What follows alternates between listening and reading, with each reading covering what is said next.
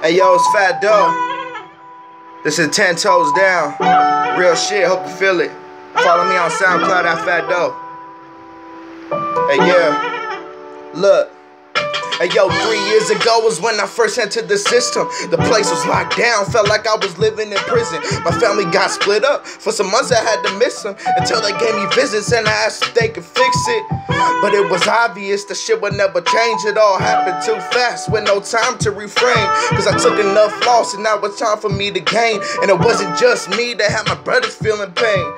Now every day I wish I wasn't a victim. Living in a trap house, all I wanted was to kick it. But now I'm doing doing okay. I ain't even tripping. Middle finger to the group home. Yeah, fuck the system. Just lost my girl. It's a cold world. Cat got my tongue. Yeah, I was lost for words.